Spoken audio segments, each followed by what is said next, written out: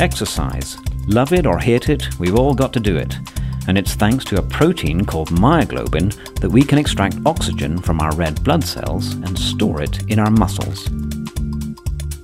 Encoded by a gene on chromosome 22, myoglobin has a key role in providing oxygen for the biochemical reactions that keep us moving.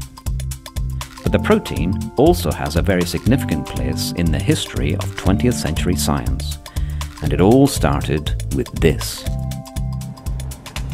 Here at the Science Museum in London is an early model of the myoglobin molecule. And while it may not look very impressive, indeed the model is rather disgusting, it represents a landmark achievement. This, the culmination of over 20 years' work by scientists working in Britain, is the very first protein structure to have been seen by humankind.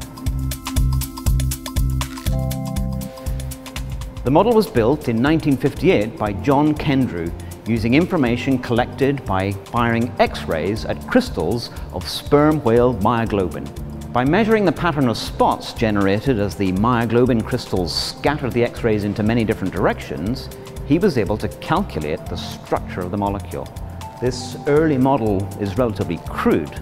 It only shows the overall shape of the protein, but that's because Kendrew's first crystals weren't very good.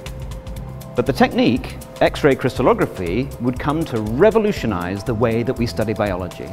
And since 1958, it has allowed scientists to work out the structures of many different biological molecules, from the enzymes that digest our food to the ion channels that conduct electric signals in our brains.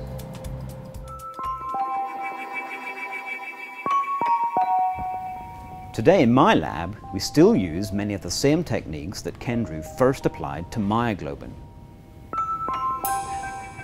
Within a few years, he had improved his original crystals and was able to reveal the true complexity of myoglobin's atomic structure, unveiling its beautiful helices and the precise arrangement of bonds between its atoms.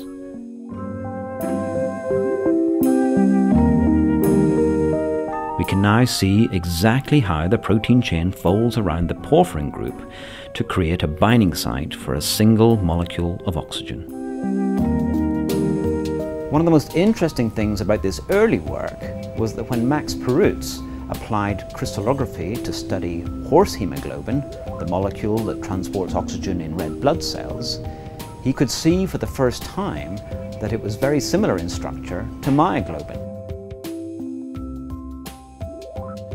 This showed not just the evolutionary relationship at the molecular level between different species, horses and whales, but also that evolution could adapt a relatively simple structure and give it a more complex form and function.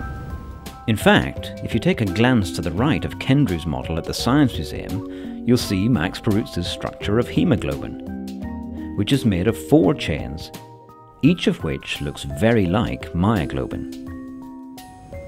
From that humble, rather hideous start in 1958, it's amazing how far we've travelled.